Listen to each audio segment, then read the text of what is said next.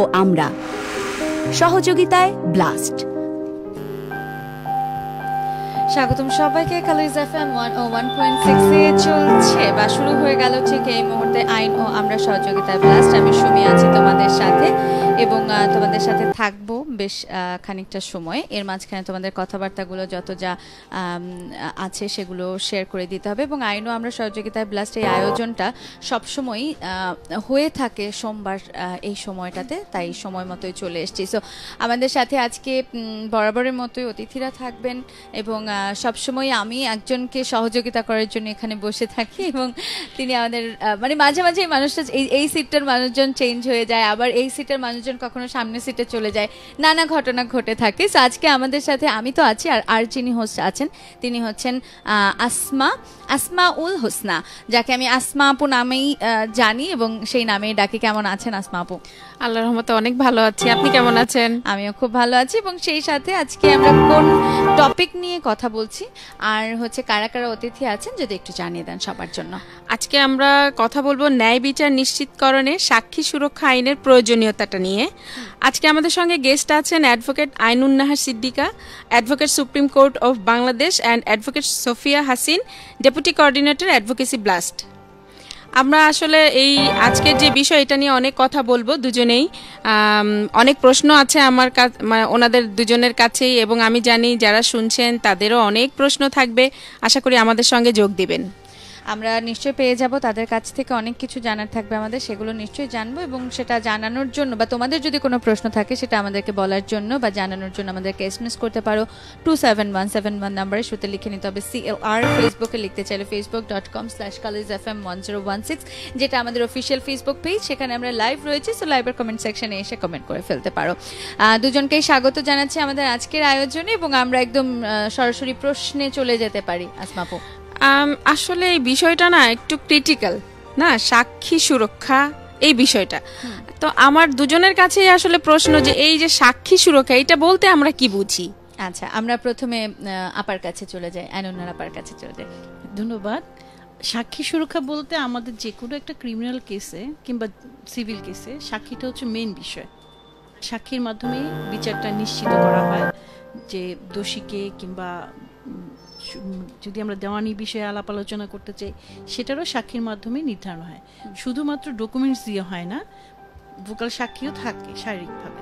কিন্তু যখন আমরা একটা মানুষ কোনো একটা ঘটনা দেখে কিংবা কোনো একটা ঘটনা সে সাক্ষী হলো আমরা যেমন তুমি সাক্ষী থাকলে তখন সে আদালতে গিয়ে যে সাক্ষীটা দেবে যেমন ক্রিমিনাল কেস যদি হয় আসামি পক্ষ যদি খুব সবল হয় কিংবা খুব ক্ষমতাশালী হয় তখন সাক্ষীর একটা নিরাপত্তার একটা ব্যাপার থাকে। সে গিয়ে আদালতে গিয়ে সাক্ষীটা দিতে পারবে কিনা তার জীবনের নিরাপত্তার ব্যাপার আছে কিংবা তার আর্থিক কোনো সমস্যা থাকলে তাকে বায়াস্ট করে নিতে পারে। সাক্ষীকে যেমন আমরা অনেক সময় দেখি যে সাক্ষী কেনা বেচা হচ্ছে কিংবা পেশাগতভাবে সে সাক্ষী সাক্ষী দিয়ে থাকে। তার সাক্ষী হচ্ছে, হচ্ছে সাক্ষী দেওয়া, সাক্ষী দেওয়া। সাক্ষী দেওয়া। এখন যে যেভাবে বলল যে টাকা দেবে সে তার পক্ষে সাক্ষীটা দেবে। সেখানে তো বিচারটা আসলে নিশ্চিত হলো না। বিচারটা সুষ্ঠুও হলো না এবং নিশ্চিত হলো না। সেই হিসাবে সাক্ষীর একটা সুরক্ষা থাকা খুবই প্রয়োজন। মানে এটা সরকার সরকার থেকে এটা নিশ্চিত করা উচিত আইনের মাধ্যমে যে এই সাক্ষীটা, যে মামলারই সাক্ষীটা হবে, তার লাইফটা, তার আর্থিক বিষয়টা সুরক্ষা থাকবে। এটি ব্যাপার। আচ্ছা আমি একটা ছোট্ট বিরতি নিয়ে তারপরে আসলে সোফিয়ার কাছে আস- আসতে চাই। একটু টেকনিক্যাল প্রবলেমের কারণে আমাদের একটা ছোট্ট বিরতিতে যেতে হচ্ছে। তারপরে ফিরে আসছি। যারা আছো, এই মুহূর্তে শুনছো colours F M one point six তোমরা চাইলে তোমাদের যে প্রশ্ন রয়েছে, সেই প্রশ্নের কথাগুলো আমাদেরকে জানাতে পারো। সেই অপশনটা ওপেন রয়েছে। আমাদেরকে এসএমএস করতে পারো two seven one seven one নাম্বারে শুরুতে লিখে নিতে হবে সিএল আর ফেসবুকে লিখতে চাইলে Facebook dot com slash colours F M one zero one six একটা ছোট্ট বিরতি নিয়ে ফিরছি। সাথে থাকো।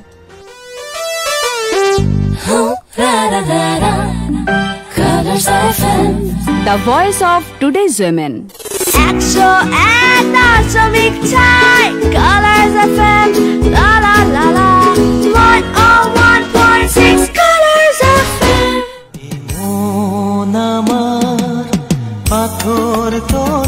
ভালোবাসি বড় ভালোবাসি পুরনো হোক বা নতুন এপার কিংবা ওপার বাংলা। প্রাণে দোলা দিয়ে যাওয়া আধুনিক বাংলা গান নিয়ে শুধু আধুনিক। শোনো ফারজানার সাথে প্রতি সোমবার রাত নটায়। কালার্স এফ এম একশো এক দশমিক ছয়। শুধু আধুনিক। আমি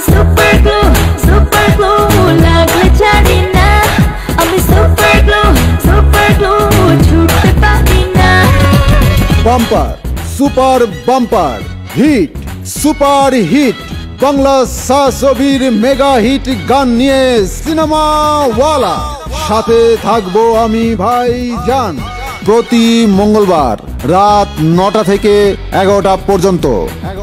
Colours F M one O one point সিক্সে শুনতে থাকো আর চলতে থাকো।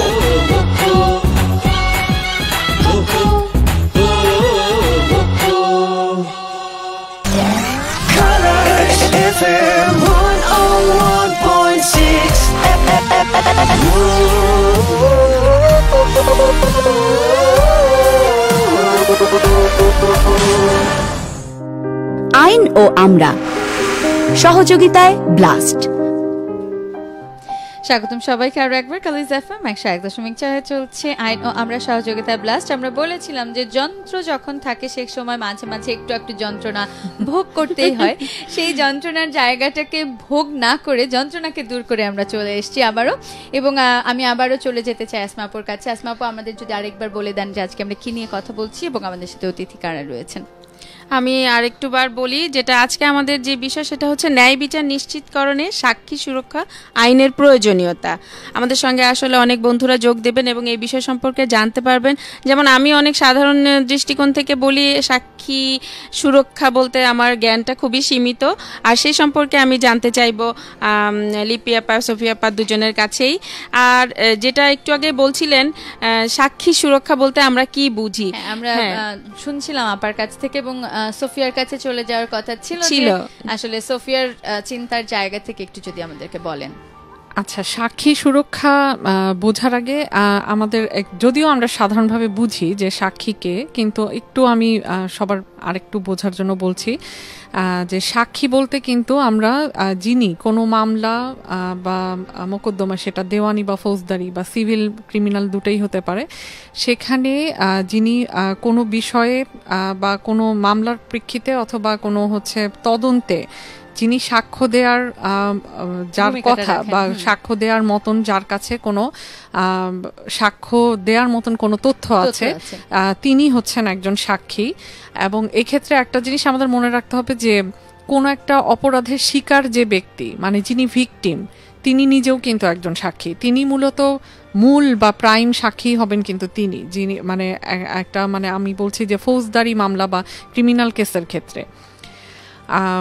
আর হচ্ছে সাক্ষী সুরক্ষা বলতে আমরা যেটা বুঝি যে এই যে যিনি সাক্ষী দিতে আসছেন, এই সাক্ষীদের এবং বিভিন্ন ক্ষেত্রে এই যে ভিকটিম যিনি কিনা আরও বড় একজন সাক্ষী, তার, তাকে সহ তার ফ্যামিলির, এমন যদি পরিস্থিতি হয় যে তার ফ্যামিলির লোকজনও হচ্ছে তথ্য জানে বা তাদের নিরাপত্তা নিশ্চিত না করলেও হচ্ছে সাক্ষী প্রদান করাটা অনেক সময় সমস্যা হয়ে দাঁড়ায়। তো সেক্ষেত্রে তাদের সবারই এমনভাবে তাদের নিরাপত্তা বিধান করা যেন তারা কোনো ধরনের হুমকি বা ভয় ছাড়াই নিরাপদ পরিবেশে এসে সাক্ষী দিয়ে যেতে পারেন এবং প্রয়োজনে তাদের বিচার পরবর্তী পর্যায়ে যদি তাদের নিরাপত্তার প্রয়োজন হয় সেক্ষেত্রেও তাদেরকে নিরাপত্তা দেয়। এই এই বিষয়গুলোকেই সাক্ষী সুরক্ষা বোঝাচ্ছে। এটা কিন্তু মানে অত্যন্ত গুরুত্বপূর্ণ একটা বিষয় কারণ একটা মামলা বা একটা যে কোনো কিছুই নির্ভর করে আসলে সাক্ষীর উপর অনেক ক্ষেত্রে এবং সেই সাক্ষী মানে সাক্ষী দেওয়ার ক্ষেত্রে যদি কোনো ভয়ভীতি কাজ করে তাহলে তো সত্য কথাটা সে বলতে পারছে না।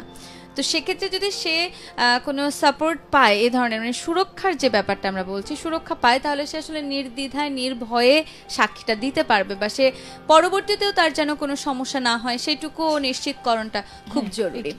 আপু। আম, আমাদের দেশে যে সাক্ষী সুরক্ষার সংক্রান্ত বিধানগুলো এগুলো যদি আমাদেরকে একটু জানাতেন তার কারণ হচ্ছে আমি যদি মনে করি যে আমার একটা জায়গায় সাক্ষ্য দিতে হবে সাক্ষী দিতে হবে এবং আমার যদি সুরক্ষা না থাকে এবং সেটা আমি যদি জানি যে বিধান আছে সেই ক্ষেত্রে আমার কিন্তু কিছুটা মনোবল থাকবে। তো সেই ক্ষেত্রে এই বিধানগুলো কি কি? আসলে সাক্ষী সুরক্ষার যে বিধান এরকম সাক্ষী সুরক্ষা বিধান বলতে আমাদের এখানে দেশে কোনো আইন নেই। একটা আছে আমাদের যেমন যুদ্ধ অপরাধ ট্রাইব্যুনাল যেটা আমরা বলি সেই ট্রাইব্যুনালে সাক্ষী সুরক্ষার একটা ক্লজ ওনারা রেখেছে সাক্ষী সুরক্ষার জন্য। কিন্তু জেনারেল যে আইনগুলি আমরা যেমন ফৌজদারি এবং দেওয়ানি যে কথাটা বললাম সিভিল ক্রিমিনাল আইন সেখানে ওইভাবে কোনো নির্দিষ্ট করে সাক্ষীর সুরক্ষার বিষয়ে ওরকম কোনো আলাদা কোনো আইন নেই। তবে যেটা আছে একটা আছে সাক্ষ্য আইনে যে সাক্ষীকে কীভাবে প্রশ্ন করা যাবে কীভাবে করা যাবে না এই কিছু কিছু দুই একটা পয়েন্ট আছে। কিন্তু বেশ মানে বিষয়গতভাবে যেটা বলছিল যে আমরা সাক্ষীর যে মানে জীবনের নিরাপত্তা তার পরিবারের নিরাপত্তা কিংবা অপরপক্ষ থেকে কোনো হুমকি আসলে কিংবা বিচার পরবর্তী মানে মামলা শেষ হওয়ার পরেও তার যে একটা নিরাপত্তা এই এই বিষয়ে সেরকম কোনো আইন আসলে নাই। আমি একটু অ্যাড করি এখানে মানে আপা যেটা বলছিলেন যে একদম সত্যি কথা আমাদের দেশে আসলে সাক্ষী সুরক্ষা আইন বলে কোনো আইনই আইন। নেই। আর ওই সাক্ষ্য আইনে কিছু আছে আর আপা যেটা বললেন যে ওয়ার ক্রাইমস ট্রাইব্যুনাল সেখানে কিছু বিধান রাখা হয়েছিল। আর এছাড়া শুধু আমরা আর একটা আইনে আমরা কিছুটা পাই, সেটা হচ্ছে আপনার নারী ও শিশু নির্যাতন দমন আইন দুই হাজার। এটাতে হচ্ছে ওই নারী ও শিশুদের সাক্ষী দেওয়ার ক্ষেত্রে কিছু নিরাপত্তার বিধানের কথা বলা আছে। যেমন একটা বলা আছে হচ্ছে, এই আইনের চোদ্দোর এক ধারায় বলা আছে যে কোনো শিশু বা নারীর যিনি কিনা সাক্ষী দিবেন অথবা যিনি ভিকটিম, তার হচ্ছে পরিচয় প্রকাশ করা যাবে না। আরেকটা বলা আছে যে যদি ট্রাইব্যুনাল মনে করে, এটা একত্রিশ ধারায় বলা আছে যে, ট্রাইব্যুনাল যদি মনে করে যে ওই নারী বা শিশুর হচ্ছে নিরাপত্তা নিশ্চিত জরুরি, তো সেই ক্ষেত্রে তাদেরকে সেফ হোম বা নিরাপদ আশ্রয় যেটা আছে, সেখানে রাখার ব্যবস্থা কর- করতে পারেন। আর আরেকটা বিষয় আছে যে, যদি কোনো নারী বা শিশু মনে করেন যে ওনারা ওপেন আদালতে মানে আদালতে তো আসলে এজলাসে তো অনেক লোক থাকে।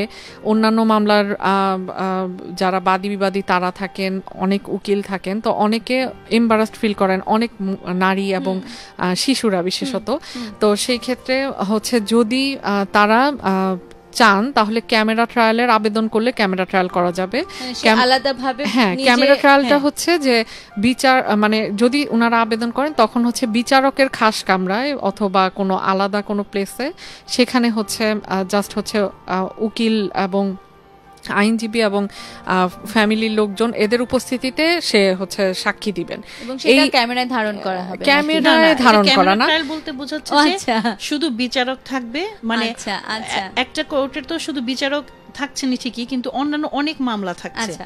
কিন্তু ওইখানে শুধু বিচারক ওই একটা মামলাই শুনানি করবে এবং ওইখানে ওই সাক্ষী এবং ওই বাদী বিবাদী পক্ষের দুজন উকিল এই দুজন ছাড়া এই তিনজন চারজন ছাড়া আর কেউ। থাকবে এটা আচ্ছা। হতে পারে কোর্ট রুমে অন্যদের সবাইকে বের করে দিয়ে অথবা বিচারকের কামরায় এভাবেও হতে পারে কিন্তু আচ্ছা। এখানে অন্য কেউ থাকবে না এটা। আবেদন করতে হবে ওই নারী বা ওই শিশু না এখানে আমি একটু যোগ করছি সেটা হচ্ছে যে নারী শিশু আইনে যেমন রেপ ভিকটিম এটা কিন্তু বলাই আছে যে এটা ক্যামেরা ক্যামেরা ট্রায়াল হবে। যদিও আমাদের আদালতগুলি সে সবসময় এটা মানছে না কিন্তু এটা ওইখানে বলাই আছে বিধানই আছে যে রেপ ভিকটিমদেরকে ক্যামেরা ট্রায়াল করতে হবে।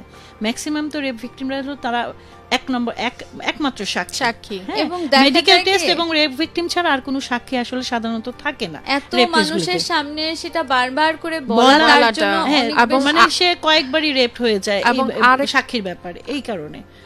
সরি আপা আরেকটা বিষয় যেটা আমি একটু যুক্ত করতে চাচ্ছি যে এখানে পরিচয় ডিসক্লোজ না করার একটা বিষয় আছে কিন্তু যখন কিনা এরকম ওপেন আদালতে সে সাক্ষী দিতে যাচ্ছে বারবারই কিন্তু সে বিভিন্ন মানুষের আহ, সামনে তাকে হচ্ছে কথা বলতে হচ্ছে। তো। ক্যামেরা ট্রায়ালটা আসলে তাদের জন্য ম্যান্ডাটরি কিন্তু। কিন্তু যদিও আমাদের দেশে সেটা বেশিরভাগ ক্ষেত্রেই মানা হয় না। আচ্ছা সেক্ষেত্রে মানে যদি রেপ ভিকটিম যিনি তারও কি আবেদন করতে হয়? নাকি এটা আপা বলছিলেন যে এটা অটোমেটিক্যালি এই আওতায় চলে আসে? না এই আওতায় চলে আসে হ্যাঁ। কিন্তু আমাদের যেটা এখন প্র্যাকটিস যেটা আমরা যেটা প্র্যাকটিস বলি আওতায় ঠিকই চলে আসে কিন্তু কোর্টগুলো অনেক সময় তাদের না জানা অজ্ঞতা কিংবা প্র্যাকটিস না থাকার কারণে এই কাজটা করে না। তখন ওই অ্যাপ্লিকেশনটা দেওয়াটা জরুরি। দিলে পারে তখন এটা গণ্য করা হয় আচ্ছা। আমি এখানে আমার কিউরিয়াসিটির জায়গা থেকে একটা প্রশ্ন করতে চাই যে একজন ব্যক্তি মানে সাক্ষী দেওয়ার ক্ষেত্রে তার কি বয়সের কোনো ব্যাপার আছে কিনা? যে এই বয়সের মধ্যে হলে তার সাক্ষ্যটা গ্রহণ করা হবে বা এর চেয়ে ছোট বয়সের হলে আর তার সাক্ষ্য নেওয়া হবে না বা গ্রহণযোগ্য হবে না এরকম কোনো নীতি না একদম যেটা যেটা আছে যে সাক্ষ্য আইনে এটা আছে যে একদম ছোট বলতে যে মানে বোঝ হয়েছে না দশ বছর আর দশ বছরের বাচ্চাদের সাক্ষীটা অনেক সময় গ্রহণ করা হয়। আচ্ছা। কিন্তু এর চেয়ে ছোট যারা মানে পাঁচ বছর ছ বছর এদের সাক্ষীটা আসলে ওইভাবে কারণ ওদের তো আসলে বুঝটাই ওরকম হয় না ঘটনাটা কি ঘটলো কেন ঘটলো কোথায় অনেক সময় ওরা সময় তারপরে দিন তারিখ এগুলি সব বলতে পারে না। যার জন্য ওদের সাক্ষীটা আসলে ওইভাবে গণ্য করা হয়। মানে যারা আসলে বুঝতে পারে বা একটা ঘটনাকে বর্ণনা করার মতো সেরকম সেই রকম বুদ্ধি হ্যাঁ, তার হয়েছে? হয় তাদের তারটা মানে সাক্ষ্য হিসেবে। বা তাকে সাক্ষী হিসেবে গ্রহণ করা যেতে আমার আসলে এতক্ষণ যেই কথাগুলো বলছিলাম তাতে আমার কাছে মনে হয় যে যে আইন নেই বা সেই রকম বাংলাদেশে যে আইনগুলো থাকা উচিত বা দরকার খুব এসেনশিয়াল নেই সেই ক্ষেত্রে না নাই দেখে আমরা কি করতে পারি? আমাদের তো আসলে আইনটা খুব জরুরি। এই মানে আমি ভ- ভয়ে কখনো সাক্ষী দিতেই যাব না হয়তো বা এমন কিছু ঘটনা ঘটলে। আমার মতন আমার মতন অনেকেই চিন্তা করবে সে আসবেই না। না এই বেসিক্যালি এরকম ঘটনাটাই ঘটে। অনেক সময় রাস্তাঘাটে অনেক ঝামেলা হয় অনেক কিছু হয় কিন্তু এই সাক্ষী দেওয়ার ভয়ে অনেকে ওইখানে থাকতে চায় না। তো সেই ক্ষেত্রে কি আইনটা আমাদের জন্য খুব খুবই জরুরি খুবই জরুরি। এটা এই ক্ষেত্রে বাংলাদেশ সরকার কোনো ধরনের উদ্যোগ নিয়েছেন কিনা একটা মনে হয়। হ্যাঁ এটা হচ্ছে দুই হাজার ছয় সালে ল কমিশন একটা হচ্ছে আহ, সাক্ষী সুরক্ষা আইন নামে একটা আইন খসড়া আইন করে। পরবর্তীতে এটা আবার হচ্ছে কিন্তু আইনটা হচ্ছে বাস্তবায়ন মানে সরি আইনটা মানে কার্যকরী হয়নি এখনও। পরবর্তীতে হচ্ছে আইনটা আবার হচ্ছে দুই হাজার এগারো সালে আবার এই আইনটা আবার রিভাইজড হয় আর কি। কিন্তু এখন পর্যন্ত এই আইনটা মানে কার্যকরী করা মানে আইন হিসাবে আইন হিসেবে প্রণয়ন করা এখনও। হয়নি। আচ্ছা এই যে আট বছর হয়ে গেছে দুই হাজার এগারো সালের পর। মানে হ্যাঁ। ছয় সালে ড্রাফটিং এর পর তো অনেক বছর দশের বেশি। আর তারপরে আবার যে দুই হাজার এগারো সালে যে আবার রিভাইজড হলো তারপরে এখন পর্যন্ত প্রায় আট বছর হয়ে গেছে এখন পর্যন্ত কোনো আর কোনো আমরা অগ্রগতি দেখছি না। এই যে অগ্রগতির আসলে অগ্রগতির পথে বাধাটা কোথায়? কেন অগ্রগতি হচ্ছে না? এক্ষেত্রে কি বলবেন? আমরা আসলে এই জন্যই এটা বলাটা খুব মুশকিল এটা খুব বলাটা আসলে খুবই মুশকিল। কারণ আমরা এটা আমরা খসড়া প্রথমে আইনটা রেডি করা হলো তারপরে তার খসড়া হলো এরপর তার রিভাইজ হলো কিন্তু তারপরেও কেন হচ্ছে না? এটা আসলে আইন কমিশন এবং আইন মন্ত্রণালয় কোথাও একটা। তারাই বলতে পারবেন এবং সেই উদ্যোগটা নেওয়াটা খুব জরুরি কারণ আরেকটু বলি বা জানতে চাই যে সাক্ষীদের ক্ষেত্রে আসলে কোন কোন বিষয়গুলো মানে তাদের নিজেদের ক্ষেত্রে বা একজন সাক্ষী দেওয়ার ক্ষেত্রে এই যে মানে তার নিরাপত্তার জায়গা থেকে এই আইনটার গুরুত্বের জায়গাগুলো কোথায়? কেন আসলে এটা দরকার? আমরা তো শুনছিলাম যে তার নিরাপত্তার ক্ষেত্রে দরকার। বা অন্য কোনো ক্ষেত্রেও কি আসলে কাজের জন্য এটা সহযোগী হবে কিনা? বা আদালতের কাজের জন্য এটা সহযোগীপূর্ণ কিনা? হ্যাঁ এটা অন্য যেটা অন্য যেটা বলছেন যে অন্য কোনো ক্ষেত্রে হবে কিনা সেটার হচ্ছে সবচেয়ে বড় যে সমস্যাটা হচ্ছে যে ওই যে আমি প্রথমেই বলেছি যে সাক্ষী সাক্ষী কেনা বেচা হয় তা আমার একটা মামলার সাক্ষী মানিটা কি? সে তথ্য উপাত্ত সবকিছু মিলিয়ে যেটা সঠিক সেটা সে দেবে যাতে বিচারটা সুষ্ঠু হয় সঠিক হয়। একটা বিচারক তো বিচার সে আইন যে রায়টা দেবে সে সিদ্ধান্তটা নেবে সেটা সাক্ষীর উপর ডিপেন্ড করে সে সিদ্ধান্তটা নিচ্ছে। কিন্তু সাক্ষীটা যদি উল্টোপাল্টা হয় কিংবা সাক্ষীটা যদি তাকে ডিরেল করে দেয় তখন তার সিদ্ধান্তটাও তো ভুল হবে। এবং বিচারটা আসলে যে বিচার প্রার্থী সে আসলে সুষ্ঠু বিচারটা পাবে না। সেই ক্ষেত্রে সাক্ষী সুরক্ষাটা আমার আমি মনে করি এবং আমাদের সবার এটা ই করা যে আসলে এটা খুবই প্রয়োজনীয়। আরও কিছু কিছু বিষয় আছে যে ধরেন এই যে আপা যেরকম বলছিলেন যে কেনা বেচা হয় সাক্ষী। এছাড়া হচ্ছে যে অনেকে আছেন যে সাক্ষী দিতে চান তারা ঘটনাটা জানেন বা দেখেছেন কিন্তু যেটা হয় যে তাদেরকে অপরপক্ষ বিভিন্ন ধরনের ভয়ভীতি প্রদর্শন হ্যাঁ, করে এবং এবং হচ্ছে তাদের শুধু তাদের না তাদের ফ্যামিলি সাক্ষীর ফ্যামিলির কথাও আসছে কিন্তু বারবার যে তাদের ফ্যামিলির লোকজনের নিরাপত্তা নিয়েও বিভিন্ন রকম হুমকি দেওয়া হয়। অনেক সময় এরকম হয় যে তারা এতটা মানে ডেসপারেট হয়ে যায় যে দেখা গেল যে সাক্ষীকে কোর্টে এনে সম্পূর্ণ উল্টা মানে হয়তো যিনি ভিকটিম উনি মনে করছেন উনার পক্ষে সাক্ষী দিবেন কিন্তু ভয়ভীতি দেখিয়ে দেখা গেল যে পুরা সম্পূর্ণ তার বিপরীত সাক্ষী দিচ্ছে। এরকম ঘটনাও আছে। হ্যাঁ এটা আমরা চলচ্চিত্রে ব্যাপারগুলো খুব বেশি না দেখি। আমাদের তো একদম প্র্যাকটিক্যালি জীবনে আছে, হ্যাঁ বাস্তব একটা আছে আমাদের। আমাদের যে কয়দিন আগে আমাদের একটা গায়ক আমাদের একজন শিল্পী মারা গেলেন। ওনার নিরাপত্তার জন্য ওনার বাড়িতে শেষ পর্যন্ত পুলিশ টুলিশ সব দেওয়া হলো। কিন্তু উনি সাক্ষী দিলেন বলে কিন্তু ওনার ভাইকে মেরে ফেলা আহমেদ। ইমতিয়াজ বুলবুলের হ্যাঁ, কথা বলছিলাম হ্যাঁ, আমরা জি। বুলবুল ভাইয়ের কথাই বলছিলাম যে ওনার সাক্ষী দেওয়ার কারণেই কিন্তু ওনার ভাইকে মেরে ফেলা হলো। যদিও ট্রাইব্যুনালে কিন্তু সাক্ষী সুরক্ষা একটা নীতি আছে। তারপরেও কিন্তু ওনার ফ্যামিলিকে সুরক্ষাটা তো সেভাবে আমরা দিতে পারিনি। বরঞ্চ যেটা হলো যে আসলে এই মানুষটা এত এত প্রাণচঞ্চল একজন মানুষ কিন্তু এই এক সাক্ষীর কারণে তার ঘরবন্দি হয়ে জীবন যাপন করতে হলো পুরোটা সময়। এবং শেষ পর্যন্ত আসলে নিজেকে আর আটকে রাখতে পারলেন না তিনি। তার কাজকর্ম থেকে নিজেকে এরকম ভাবে মানে আটকে রাখতে হলো চারপাশে সকল কিছু থেকে তাকে আলাদা করে রাখতে হলো নিজেকে। মানে বলতে গেলে তাকে উল্টো তাকে আমরা জেলখানার মতো একটা হ্যাঁ। জীবন দিয়ে দিলাম। আরেকটা বিষয় আছে যে এমন এমনও দেখা গেছে সুমি যে মানে এতটা ভয়ভীতি প্রদর্শন করা হয় যে অনেক সময় দেখা যায় যে যিনি কোনো অপরাধের শিকার হয়েছেন উনি মামলা করতেই চান না। অথবা মামলা করার পরে উনি মামলা উইথড্র করে নিতে চান অথবা উনি নিজেই দেখা গেছে সাক্ষী দিতে আসছেন না। এরকম ঘটনাও আছে। এবং আহ, মানে অনেক দিনের পর দিন সমন পাঠানো হচ্ছে কিন্তু সাক্ষীরা প্রয়োজনীয় সময় আসছে না। একটা মামলা যেটা কিনা একশো আশি দিন হয়তো নির্ধারিত ছিল যে একশো আশি দিনের মধ্যে শেষ করতে হবে সেই মামলাটা দেখা যাচ্ছে বছরের পর বছর। এটা বিশেষত বেশি মানে আরও জরুরি রেপ সংক্রান্ত যে হ্যাঁ, মামলাগুলো আছে আমরা দেখি যে আমরা খুব হতাশ হই যে রেপ মামলা আহ, অনেকে করতেই চান না এই ভয়ে। যে সাক্ষী পাবো না আমি বা সাক্ষীদের কেউ যাবে না ভয়ে সাক্ষী দিতে। আর আবার আরেকটা বিষয় যেটা দেখা যায় যে রেপ মামলাগুলা বেশিরভাগ ক্ষেত্রে প্রমাণ করার অভাবে কিন্তু মামলাগুলায় ন্যায় বিচার আমরা পাই না, এবং এটার কারণ কিন্তু এইটা যে রেপ ভিকটিমদেরকেও অপরপক্ষ ভয় দেখায় ভয় প্রদর্শন করে সে নিজেই আসে না। অথবা অনেক সময় ম্যাজিস্ট্রেটের কাছে যে জবানবন্দি দিতে হয় সেক্ষেত্রে উনি নিরাপত্তার বোধ করেন না উনি এসে হয়তো বলেন যে না এরকম কিছু হয় নাই। এরকম বলে দেন। কি ভয়ঙ্কর ব্যাপার না? নিজের সাথে এটা আমরা যেমন প্র্যাকটিক্যালি যেটা আমি ফেস করেছি যেমন পারিবারিক মামলার ক্ষেত্রেও এরকম যে আমরা দিনমোহর ভরণ পোষণের জন্য মামলা করলাম তারপরে যার জন্য মামলাটা করলাম যার দিনমোহর যার ভরণ পোষণ সে সাক্ষী আর আসছে না। হ্যাঁ সে সাক্ষী আসছে না কারণ তার যার বিরুদ্ধে মামলাটা সে ফ্যামিলি সেই বিবাহটা তো তোর বিচ্ছেদ হয়ে গেছে। সে হয়তো নতুন আরেকটা লাইফে চলে গেছে। কিন্তু তার এই পরিচয়টা এটা হয়তো বা ওই নতুন পরিবারে একটা সমস্যা হবে যে সেইখানে সে এই মামলা সাক্ষী দিচ্ছে। অনেক অনেক মামলা আছে আমরা দেনমোহন ভরণ পোষণের মামলা যেটা শেষ পর্যন্ত খারিজ হয়ে গেছে। আমরা মামলাটা শেষ পর্যন্ত হ্যাঁ শেষ পর্যন্ত আর করতে পারিনি কারণ বাদী নিজেই সাক্ষী দিতে আসছে না।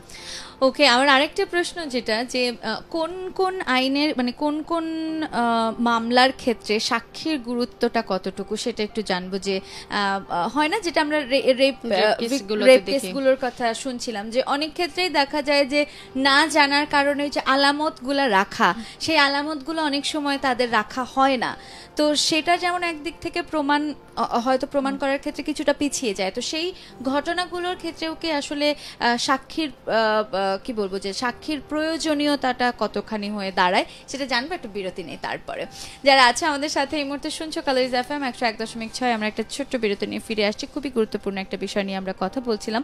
এবং এই সংক্রান্ত যদি কোনো প্রশ্ন থেকে থাকে, সেটা আমাদেরকে জানাতে পারো। জানানোর জন্য এসএমএস করতে হবে two seven one seven one নাম্বারের সাথে লিখে নিতে হবে সিএলআর ফেসবুক লিখতে চাইলে Facebook dot com slash colours one zero one six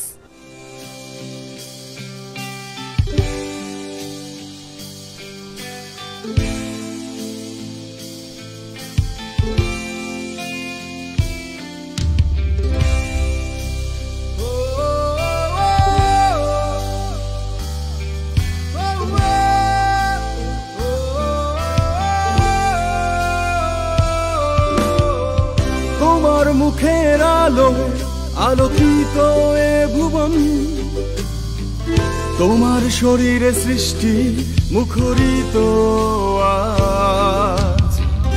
আমি আমাদের জাগ্রত এই পৃথিবী। তুমি কখনো স্বর্গ, কখনো তারার আলো। তোমাতেই এসে থামি তোমাতেই শুরু করি। নারী, শুধু তোমাতেই গড়ি স্বপ্ন, স্বপ্নের সাথে যাও বুনি। তোমাতেই এসে থামি, তোমাতেই শুরু করি। নারী, শুধু তোমাতেই গড়ি স্বপ্ন, আলোকিত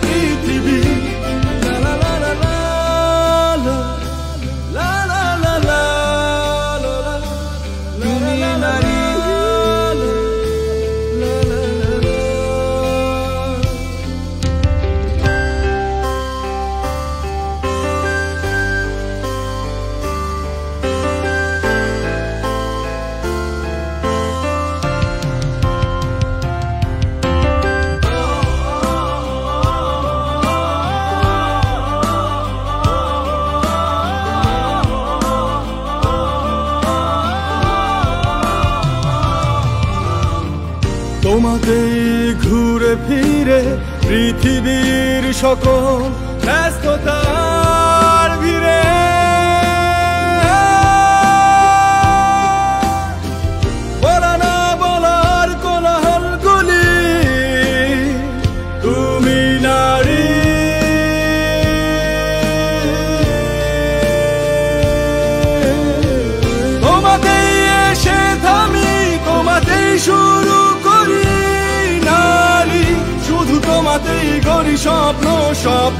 সাথে চাল বুনি তোমাতেই এসে থামি তোমাতেই শুরু করি। নারী, শুধু তোমাতেই গড়ি স্বপ্ন, আলোকিত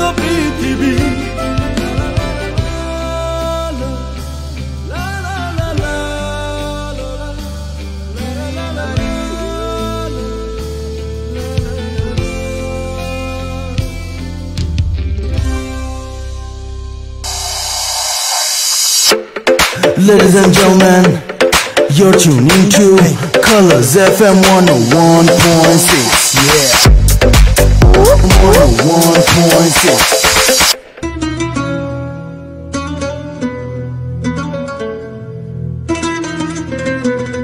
শুনছেন কালার্স এফ এম একশো এক দশমিক ছয় ঢাকা ও তার আশেপাশের আজকের ইফতারের সময় সন্ধ্যা ছয়টা চল্লিশ minute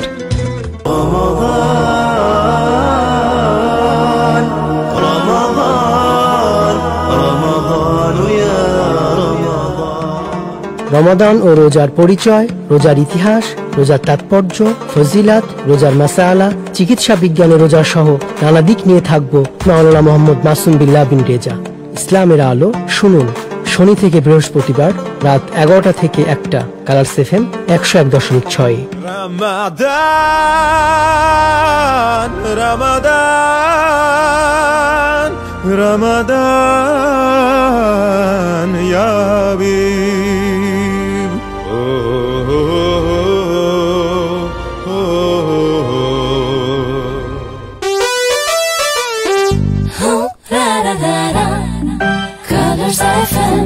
the voice of today's women আইন ও আমরা। সহযোগিতায় ব্লাস্ট। স্বাগতম সবাইকে। আরও একবার কালার্স এফএম একশো এক দশমিক ছয় চলছে। আইন আমরা সহযোগিতায় ব্লাস্ট শ্রমী আছি তোমাদের সাথে এবং সেই সাথে রয়েছেন আমাদের সাথে আসমা আপু, আর দুজন অতিথি এবং তাদের সাথে আমরা কয়েকবার পরিচিত হয়ে গেছি এবং তোমরা জেনেও গেছো আমাদের সাথে কারা আছেন। আমরা সরাসরি আমাদের আজকের কথাই চলে যেতে চাই কারণ সময় খুব দ্রুত চলে যাচ্ছে। আমি যেই ছোট্ট একটা প্রশ্ন করেছিলাম যে আসলে কোন কোন বিষয়গুলোতে বা কোন কোন কেসগুলোতে দেখা যায় যে সাক্ষীর প্রয়োজনীয়তা কতটুকু হয় বা সাক্ষীকে এই যে কেনা বেচা বলছেন যে তার কথার উপরে কি অনেক কিছু ডিপেন্ড করে? এই তাহলে আসলে এই যে কেনা বেচা হয়ে যাচ্ছে, তাতে করে যারা ভিকটিম তারা তো আসলে মূল কি বলব যে সেই সেই প্রতিকারটা পাচ্ছে না। তারা যেই, যে যেটা চাচ্ছে সেটা তো হচ্ছে না। তো সেক্ষেত্রে সাক্ষীদের ক্ষেত্রে কতটা গুরুত্ব দেওয়া হয় আদালতে?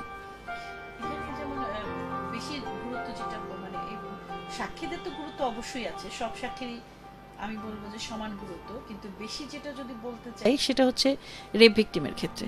আচ্ছা। হ্যাঁ? যেমন রেপ ভিকটিম আমরা জানি যে রেপটা তো আর জনসম্মুখে বাজারের মধ্যে রেপ করছে সেটা তো আর অসুবিধা নেই। কিন্তু রেপ ভিকটিম নিজে জানে যে তাকে কে কে রেপ করেছে কিংবা কে কে এই ঘটনায় ছিল। এবং একটা হচ্ছে ওইখানে রেপ রেপ কেসের বেলায় সেটা হলো ভিকটিমের বক্তব্য আর মেডিকেল মেডিকেলের চাইতে ভিকটিমের বক্তব্যটা একটা মানে ভাইটাল গুরুত্বের সাথে দেখা হয়। আচ্ছা। কাজ রেক ভিকটিমকে যদি কেউ বায়াস্ট করে ফেলতে পারে কিংবা তাকে ভয় দেখায় ফেলতে পারে কিংবা তাকে কোনোভাবে যদি মিনিমাইজ করে ফেলতে পারে আমাদের যেমন আমরা এর আগে ব্লাস্টের থেকে আমরা হাইকোর্টে একটা মামলা মানে আমরা ইউ নিয়েছিলাম ফতোয়ার ব্যাপারে। অনেক সময় আছে রেপ ভিকটিম আমাদের গ্রামগঞ্জে ফতোয়া দিয়ে দেওয়া হলো যে যে রেপ ভিকটিম তারই সবচেয়ে বেশি দোষ। তখন সে যদি দোষী হয়ে থাকে সে মনে করে এমনিও আমাদের যেমন ইদানিং বেড়েছে শিশু ধর্ষণ খুব বেড়েছে। শিশুরা খুবই ইয়ে থাকে ইমোশনাল থাকে তাদের সেন্টিমেন্টটা খুব বেশি থাকে। তারা সবসময় মনে করে কি যে দোষটা মনে হয় তারা করেছে। এটা একটা অন্যায় ব্যাপার এবং এই অন্যায়টা তার কারণে ঘটেছে। সে নিজেকে অপরাধী ভাবতে শুরু করে। এই এর ফলে হয় কি তাকে যখন কেউ কিছু জিজ্ঞেস করে সে সেটা গোপন করতে চেষ্টা করে। এর মধ্যে যদি তাকে ভয়ভীতি দেখানো হয় কিংবা কোনোভাবে যদি ম্যানেজ হয়ে যায় কোনো কিশোরী কিংবা কোনো যুবতী যে ঠিক আছে যে রেপ করেছে সে বিয়ে করে ফেলবে। তো সামাজিকভাবে তোমাকে একটা পজিশন দেওয়া হলো তো রেপের ফলে যে বাচ্চাটা হচ্ছে সে বাচ্চা বাচ্চাটা বাপের পরিচয় পেল তুমি একটা নিরাপত্তা পেলে বিয়েটা করে ফেল।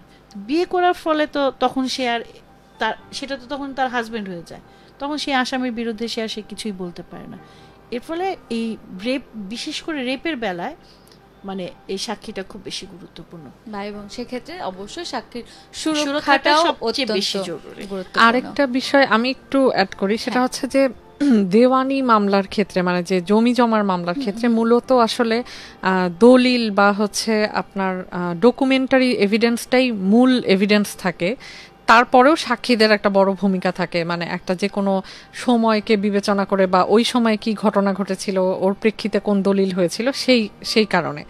কিন্তু মূলত আমি এখানে একটু সফি হ্যাঁ। বলতে চাই যে আমার নিজের পরিবারে এটা দেখেছি যে জমি জমা সংক্রান্ত কোনো ঘটনা তো হয়তো আহ, কোনো একটা সময়ে এসে সে টাকাটা নিয়েছিল যে আমার খুব প্রয়োজন তো তার বিনিময়ে তুমি আমার এই অংশটা নিও তো দেখা গেল যে ওই ওইটা কাগজপত্র করতে করতেই হয়তো ওই ব্যক্তি মারা গেলেন তখন আসলে সাক্ষীদের ইয়েটা নিশ্চয়ই অনেক গুরুত্বপূর্ণ। হ্যাঁ ওই সময় সাক্ষীদের ইয়েটা। ওটাই কাগজপত্র করা হ্যাঁ, হয়নি ওটাই আমি বলছি। যে দেওয়ানি মামলার ক্ষেত্রে মানে অর্থ সংক্রান্ত বা হচ্ছে আপনার এই যে যে ইয়েগুলো জায়গা জমির যে মামলাগুলো এগুলোর ক্ষেত্রে ডকুমেন্টারি এভিডেন্সটা মেইন কিন্তু সাক্ষীরও অবশ্যই গুরুত্বপূর্ণ ভূমিকা আছে। কিন্তু ক্রিমিনাল কেসের ক্ষেত্রে হচ্ছে বিশেষত আপা যেটা বললেন যে রেপ কেসের ক্ষেত্রে এই ক্ষেত্রে হচ্ছে মানে সাক্ষীর গুরুত্ব অনেক বেশি। আচ্ছা আসমা আমার একটা প্রশ্ন ছিল যেটা আমি আলোচনায় শুনছিলাম যে দু হাজার ছয় সালে একটা খসড়া হয়েছিল এই যে আইন কমিশন বাংলাদেশ তাই না? তো আমার প্রশ্নটা হচ্ছে যে এখানে যে ভিকটিম যদি বলি বিশেষত নারী আর শিশুদের জন্য কি কি বিধান রাখা হয়েছিল এই খসড়াটাতে? আচ্ছা এই আমি একটু বলি এই এটাতে হচ্ছে মানে কিছুদিন আগে একটা আমরা ন্যাশনাল কনফারেন্স করেছিলাম তো ওইটার জন্য আসলে যেহেতু এটার উপর আমার একটু কাজ করতে হচ্ছে আপা সেই জন্য আর কি আমি বলছি। হ্যাঁ, সেটা হচ্ছে যে সেখানে কিছু স্পেশাল প্রভিশন রাখা ছিল অনেকটা নারী ও শিশু নির্যাতন দমন আইনের মতোই। তারপর সেটা আমি একটু বলছি, সেটা হচ্ছে যে তাদের পরিচয় ডিসক্লোজ করা যাবে না বা প্রকাশ করা যাবে না পাবলিক এবং মিডিয়াতে আরেকটা ব্যাপার ছিল যে টিআই প্যারেড নামে একটা আইডেন্টিফিকেশন প্যারেড হয়। এটা হচ্ছে যখন অভিযুক্ত ব্যক্তি গ্রেফতার হয় ধরেন কোনো একটা নারী ও শিশুর প্রতি সংঘটিত যে কোনো অপরাধের ক্ষেত্রে, তাদেরকে হচ্ছে ওই একটা লাইনে দাঁড় করিয়ে হচ্ছে আইডেন্টিফাই করা হয় মানে ওই ভিকটিম কর্তৃক আইডেন্টিফাই বা শনাক্ত করা হয়। তো এটাকে টিআই প্যারেড বলে। তো এই টিআই প্যারেডে যেহেতু রেপ ভিকটিমরা নারী বা শিশু যেই হন না কেন, উনি ট্রমাটাইজ থাকে বেশিরভাগ ক্ষেত্রে। তাছাড়া তার পরিচয় ডিসক্লোজের একটা বিষয় থাকে। সব কিছু মিলিয়ে মানে ওই যিনি অভিযুক্ত তাদেরকে শনাক্তকরণের সময় ওই ভিকটিমকে আলাদা একটা জায়গায় রেখে যেন শনাক্ত করতে পারে যেমন কোনোভাবে ভিডিওর মাধ্যমে হোক অথবা কোনো একটা জানালা দিয়ে উনি দেখল কিন্তু ভিকটিমকে তারা দেখতে পাবে না যে ভিকটিম তাদেরকে শনাক্ত করছে। এইভাবে শনাক্ত করার বিষয়টা করা হয়েছে যাতে তারা অনেক সময় দেখা যাচ্ছে টিআই প্যারেডে শনাক্ত করার সময় ভিকটিমকে হচ্ছে ওরা হুমকি হ্যাঁ যদি আড়ালে না রাখা হয় আচ্ছা। সেখানে হুমকি দেয় বা যেটাতে ভিকটিম অনেক সময় বা সাক্ষী অনেক সময় ভয় পেয়ে যায়। দিতে চায় না আহ, হ্যাঁ এটা ভিকটিম হোক বা অন্য সাক্ষী যারাই শনাক্ত করুক এটা তাদেরকে হচ্ছে আলাদা রেখে শনাক্ত করার ব্যবস্থা থাকতে হবে। আরেকটা বলা আছে যে যখন রেপ কেসের ক্ষেত্রে যখন হচ্ছে ভিকটিমকে মেডিকো লিগাল টেস্ট বা ডাক্তারি পরীক্ষা করা হবে তখন হচ্ছে ভিকটিমের নিজের ফ্যামিলি মেম্বার অথবা হচ্ছে কোনো সোশ্যাল নারী কোনো সোশ্যাল ওয়ার্কার অথবা নারী কোনো আইনজীবী ভিকটিম যদি মনোনীত করেন তাকে হচ্ছে সাথে থাকার একটা ব্যবস্থা করতে হবে যাতে হ্যাঁ এটা হচ্ছে স্পেশাল কিছু প্রভিশন ছিল নারী ও শিশুদের জন্য। আর জেনারেল কিছু বিষয় ওখানে বলা ছিল যে যিনি যে কোনো মামলার ক্ষেত্রেই যদি হচ্ছে কেউ মনে করেন যে সাক্ষীরা যদি মনে করেন যে সাক্ষী সুরক্ষার দরকার, সেক্ষেত্রে তারা হচ্ছে আবেদন করতে পারেন সাক্ষী সুরক্ষার জন্য এবং আবেদন করার পরে এটা যদি মেট্রোপলিটন সিটি হয়, তাহলে হচ্ছে chief metropolitan officer chief metropolitan magistrate আর যদি এটা জেলা বা ডিস্ট্রিক্টে হয়, তাহলে হচ্ছে চিফ জুডিশিয়াল ম্যাজিস্ট্রেট ওনারা হচ্ছে ওই যাচাই বাছাই করবেন আবেদনটা, এবং যদি দেখেন যে সত্যিই জরুরি, তো সেই ক্ষেত্রে তারা হচ্ছে ভিকটিমকে ওই বা ভিকটিম বা সাক্ষীদের নিরাপত্তার জন্য অর্ডার দিবেন।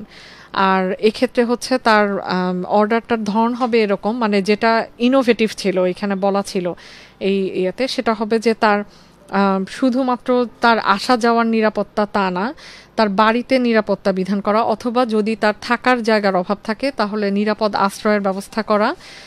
সেক্ষেত্রে তার যদি মানসিক স্বাস্থ্যসেবার প্রয়োজন হয় কাউন্সেলিংয়ের দরকার হয়, সেটার ব্যবস্থা করা। পাশাপাশি তার লাইভলিহুডের কোনো, সে যেরকম কাজ পারে, সে তার উপর ডিপেন্ড করে তার কোনো একটা চাকরি বা কোনো কিছু একটা ব্যবস্থা করে দেয় এবং প্রয়োজনে তার আইডেন্টিটি চেঞ্জ করা এবং তাকে অন্য কোনো স্থানে যেমন এক জেলার ভিকটিম কিন্তু তার নিরাপত্তা যদি খুব হুমকির সম্মুখীন হয়, তাহলে তাকে অন্য কোনো উপজেলায় অথবা আর পাশ, পার্শ্ববর্তী অন্য কোনো জেলায় কোনো নিরাপদ জায়গায় তাকে রাখা, এই ব্যবস্থাগুলো করার কথা বলা ছিল। মোটামুটি এরকমই এরকমই হ্যাঁ। ছিল। যে ব্যাপারগুলো উঠে এসছে তাতে আমার মনে হয় যে এটা যারা কে- মানে খসড়া করেছিল। খসড়া- হ্যাঁ এরা খুব গুরুত্বের সাথে কিন্তু ব্যাপারটাকে দেখে তারপরে। এছাড়াও কি আরও কোনো বিষয় আসতে পারতো বলে মনে হয় আপা কি মনে হয়? হ্যাঁ এছাড়াও আরেকটা ব্যাপার যেটা আছে যে আমরা প্রথমেই বললাম যে ভিকটিমকে ভয় ভীতি দেখানো আহ, যেমন আসামি জামিনে গেল জামিনে এসে ভিকটিমকে ভয় দেখাল কিংবা সাক্ষীকে ভয় দেখাল। হ্যাঁ সেক্ষেত্রে একটা ক্লজ থাকতেই পারে যে যদি আবার সাক্ষীকে যে ভয় দেখাবে ভিকটিম সুরক্ষা মানে সাক্ষী সুরক্ষা আইনে তো তার বিরুদ্ধে আইনগত একটা ব্যবস্থা ব্যবস্থা নেওয়া। এটা এর মধ্যে ইনক্লুড করাটা করাটা জরুরি। জরুরি। আর কোন ধরনের আমার শেষের দিকে। সময় শেষের দিকে কিন্তু খুবই ইম্পর্টেন্ট যদি বলি যে আসলে সবকিছু তো শুরু হয় যেমন খসড়াটাও কিন্তু একটা ভালো শুরু। তো সেই জায়গাটা থেকে যদি বলি যে আমরাও আমাদের যারা আসলে এখানে স্পেশালি কথা বলেন যে এই বিষয়ে সুরক্ষাগুলো নিতে গেলে বা কি কি ধরনের কার্যক্রম আসলে সরকার নিতে পারেন? এই সুপারিশ মালাগুলো যদি আমরা কয়েকটা সুপারিশ অন্তত আমরা দিয়ে যেতে পারি সেই স্টার্টটা অন্তত আমরা করি। যে আসলে এই সুরক্ষার ক্ষেত্রে আমরা কি কি ধরনের সরকার কি কি ধরনের পদক্ষেপ নিতে পারেন? ওইটা ওই যে বললাম যে প্রথমত আমাদের দাবি যেটা হবে যে সাক্ষী সুরক্ষা আইনটা হোক। হোক। এটা হচ্ছে আমাদের প্রথম দাবি যে সাক্ষী সুরক্ষা আইন হোক এবং যে খসড়া যে কয়টা জিনিস আছে তার সাথে এটাও একটা যুক্ত হতে পারে যে সাক্ষীদের হুমকি ধুমকি যারাই দিচ্ছে কিংবা ই করবে তাদের বিরুদ্ধে ওই সাক্ষী সুরক্ষা আইনেই একটা ক্লজ থাকতে হবে যে তাদের বিরুদ্ধে একটা ব্যবস্থা নেওয়া যেতে পারে। আর হ্যাঁ হ্যাঁ, হ্যাঁ, একটু আছে একটা হচ্ছে যে যেহেতু আইনটা দুই হাজার ছয় সালে খসড়া আইনটা করা হয়েছে যদিও আইনটাতে অনেক ভালো ভালো জিনিস এসেছে কিন্তু তারপরও আমার মনে হয় যে সময়ের অনেক সময়ের প্রেক্ষিতে এখন নতুন করে যেহেতু আইনটা আমরা করার জন্য সরকারের কাছে আবেদন রাখছি তো সেই ক্ষেত্রে বিশিষ্ট আইনজীবী আইনজ্ঞ যারা আছেন তাদেরকে নিয়ে যদি সরকার একটা কনসালটেশনের ব্যবস্থা করেন এবং আরও কি কি বিষয় এখানে আনলে ভালো হয় যেমন আপা একটু আগে বললেন খুব সুন্দর একটা কথা যে যারা কিনা সাক্ষীদের নিরাপত্তার জন্য হুমকি দিচ্ছে তাদের বিরুদ্ধে আইনগত ব্যবস্থা করা এবং প্রয়োজনে তাদের শাস্তির ব্যবস্থা করা এই বিষয়গুলো আসতে পারে। তো এরকম আরও তাদের আরও অনেক ভালো ভালো সুচিন্তিত মতামত বা সাজেশন থাকতে পারে। তো একটা কনসালটেশন আসলে জরুরি আয়োজন করা। আর আরেকটা ব্যাপার হচ্ছে যে এইখানে যদিও এই আইনটাতে আমি একটা জায়গায় বলেছিলাম এর আগে যে আইনটাতে বলা আছে যে কখন টার্মিনেট করা যাবে। এই বিষয়টা আরেকটু পরিষ্কার করা দরকার। যেমন ওখানে বলা ছিল যে যতদিন পর্যন্ত মামলা চলছে মানে থ্রেট বজায় থাকলে পুরো মামলা প্রক্রিয়াধীন অবস্থায় এটা হচ্ছে টার্মিনেট করা যাবে না। বা যতদিন হুমকিটা চলে না যাচ্ছে, ততদিন পর্যন্ত এই অর্ডারটা টার্মিনেট হবে না। মানে এই নিরাপত্তা ব্যবস্থা তাকে দিয়ে যেতে হবে। আরেকটা জায়গায় বলা ছিল যে যদি মামলার পরবর্তীতেও বিচার নিশ্চিত হওয়ার পরেও যদি দেখা যায় তার জীবন হুমকির মুখে। তখনও সাক্ষীদের নিরাপত্তা বিধান করতে হবে তো আসলে এইটা আসলে কতটা মানে কতখানি প্র্যাকটিক্যালি আসলে কতটা সম্ভব সেটা অ্যাসেস করা এবং এইটাকে মানে আসলে কতটা কার্যকর কীভাবে করা যায়, সেটা আরও বিভিন্ন অন্যান্য মন্ত্রণালয়ের হস্তক্ষেপও কিন্তু এখানে জরুরি। তো এই জন্যই আমি বলছি, আমার সাজেশন হচ্ছে যে সরকার আসলে এই বিষয়টা নিয়ে আসলে একটা কনসালটেশন করে আরও একটু, আরও নতুন নতুন বিষয় ইনক্লুড করে যদি খুবই দ্রুত আইনটা যেন পাশ হয় এটাই। বাহ! দারুণ কিছু কথা আজকে শুনলাম। তিনজনার মানে আমাদের চারজনের আলোচনার মধ্য থেকে। আসলে আমার এতদিন কোনো ধারণাই ছিল না যে সাক্ষী সুরক্ষারও একটা ব্যাপার থাকা উচিত। মানে আজকে এজন্য বলি যে আসলে এই স্পেশালিস্ট শোগুলো করতে করতে আসলে জীবনে অনেক কিছু শিখলাম। এবং তার মাঝখানে এটাও যে আসলেই তো আমরা মানে বাস্তব জীবনেও হয়তো যারা দেখিনি আমি কখনো আসলে এই মামলা মোকদ্দমা কোনো কিছুর মধ্যে কখনো যাওয়া হয়নি আমার। কিন্তু যারা যাচ্ছেন তারা নিশ্চয়ই এই বিষয়গুলোর সম্মুখীন হয়েছেন। এবং যেটা বলছিলাম যে চলচ্চিত্রে আমরা এই ব্যাপারগুলোকে খুব সুন্দরভাবে দেখতে পাই। সো চলচ্চিত্র মানুষের জীবনকেই তো রিফ্লেক্ট করে। তো বা চলচ্চিত্র থেকে আমাদের বর্তমান মানে আমাদের আহ, ব্যক্তি লাইফটাকেও আমরা সেরকম ভাবে গুছিয়ে নিতে চাই। অনেক কিছুই এরকম ঘটে যে ক্ষেত্রে যেখানে আসলে এই যে সাক্ষী সুরক্ষা আইনটা কতটা গুরুত্বপূর্ণ কতটা গুরুত্ব বহন করে সেটা আজকের আলোচনার মধ্য দিয়ে উঠে এসছে এবং আশা করছি যে যেটা অনেক বছর ধরে আসলে আটকে আছে দু হাজার ছয় সালের পরে দু এগারোতে মনে হয় আরেকবার। রিভাইজ হয়েছিল। সো তারপরে এটা লম্বা সময় গেলে আমরা খুব আহ, অনতি বিলম্বে এটার একটা কোনো একটা সুরাহা হবে বলে আমরা আশাবাদ ব্যক্ত করতেই পারি। তিনজনকে অনেক ধন্যবাদ আমাদেরকে সময় দেওয়ার জন্য। তোমাকেও ধন্যবাদ। সুমি আর আজকের মতো বিদায় নিচ্ছি এখান থেকে আইনো আমরা থেকে তবে চারটার পরপর সময়ে আবারও গানজটে ফিরে আসছি। ততক্ষণ পর্যন্ত সাথে থাকো এবং যেটা বলছিলাম আমি একটু যেতে যেতে বলতেই চাইব যে আমাদের আজকের আলোচনার মধ্যে থেকে একটা কথা উঠে এসছে যে সাক্ষী বেচা কেনা। সাক্ষী বেচা কেনার মধ্য দিয়ে হয়তো যিনি সাক্ষী দিচ্ছেন যদি আমি সাক্ষী দেই সেই টাকার বিনিময়ে তাহলে হয়তো বা আমি কোনো একটা অ্যামাউন্ট পেয়ে যাচ্ছি, সেটা আমার জীবনটাকে কয়েকটা দিনের জন্য সচ্ছলতা এনে দিতে পারে। কিন্তু আমার একটা ভুল সাক্ষীর কারণে একটা মানুষের জীবনটাই বিনষ্ট হয়ে যেতে পারে। সেই সেইটুকু মনুষ্যত্ব যেন আমাদের মধ্যে জাগ্রত হয়। আমরা যেন কেউ ভুল সাক্ষী কিংবা মিথ্যা সাক্ষী নে- দেই। এইটুকু মানসিক চিন্তার জায়গাটা যেন আমরা প্রশস্ত করি। এই প্রত্যাশা নিয়ে আজকের মতো বিদায় নিচ্ছি। সবাই খুব ভালো থাকো। What buy, you, boy? Make it shiny, make it shiny.